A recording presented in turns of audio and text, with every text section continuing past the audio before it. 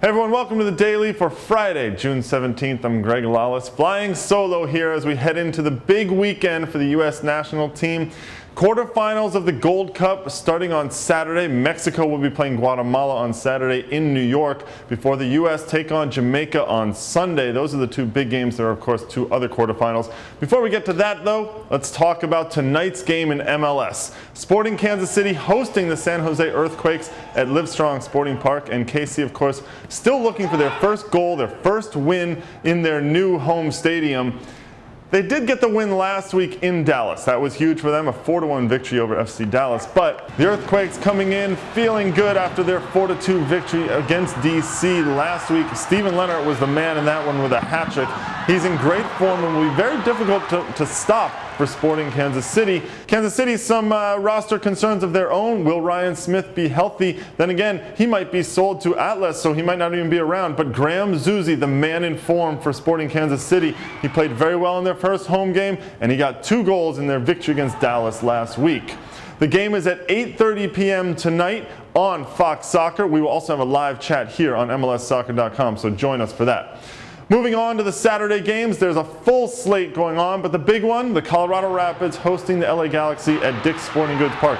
That game you can watch online at 9 p.m. Eastern Time. We spoke to Pablo Mastroeni just yesterday on Extra Time Radio, and he's going to be going for his 300th game in MLS. Hard to believe that he's been around that long considering the form he is still in.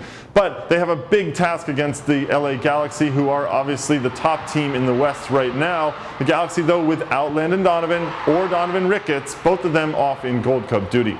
On Sunday, another big game. The Portland Timbers will be hosting the New York Red Bulls. We spoke to Robbie Earle, the broadcaster for the Portland Timbers, on Extra Time yesterday, and he said he's looking forward to a great match. Obviously, Thierry Henry and Luke Rodgers, one of the top striking partnerships in MLS. They'll be very difficult. The Timbers, on the other hand, they've lost two in a row at home after having that great start at Jeld-Wen Field.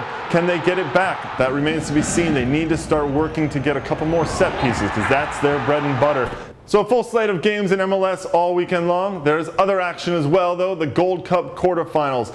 The big game on Saturday night at 8 p.m., it's Mexico-Guatemala. For Mexico, the New York Red Bulls star Rafa Marquez has not been training with the team in full. We're not sure yet whether he will be in the starting lineup and be ready to go. For Guatemala, it's all about Marco Pappa. He had a goal and is involved in three others for Guatemala in their big win against Grenada in their final game in the group stage. Again, that game is at 8 p.m. and it's on Univision. On Sunday is the big game for the U.S. 3 p.m. Eastern Time. They take on Jamaica on Fox Soccer. The game is at RFK Stadium down in Washington, D.C.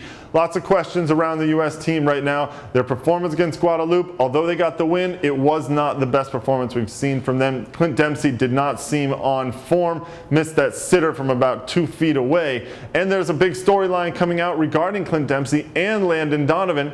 Both of them were allowed to leave the team to go to their sisters' weddings. They will return late Saturday night, early Sunday morning. The question still is, will they be ready to play at 3 p.m. Eastern Time? Will Bob Bradley put them in the starting lineup? All of that remains to be seen when the U.S. take on Jamaica. Again, that's at 3 p.m. Eastern Time on Fox Soccer quarterfinals in the Gold Cup. We will have a live chat here on MLSsoccer.com, so join us for that.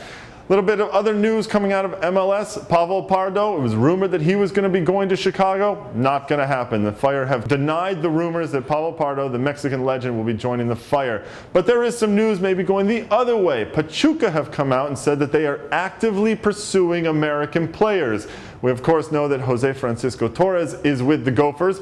What other Americans might go? We'll see if they actually do go out and maybe spend some money to buy some American players. Don't forget, Extra Time Radio came out yesterday. We spoke with Robbie Earle from Portland. We spoke with Pablo Mastroeni from the Colorado Rapids, and even Shea Salinas from Vancouver telling us about the riots that took place after the Stanley Cup final. You can get that on iTunes or on Buzzsprout. And another thing, the All-Star Twitter ballot is out. So if you want to tweet your vote for the fan vote for the All-Star game, go on to MLSsoccer.com, check out the Twitter ballot, and you can start to tweet your votes around. That runs from today all the way through Monday, June 20th. That's it for the daily. We'll talk to you on Monday.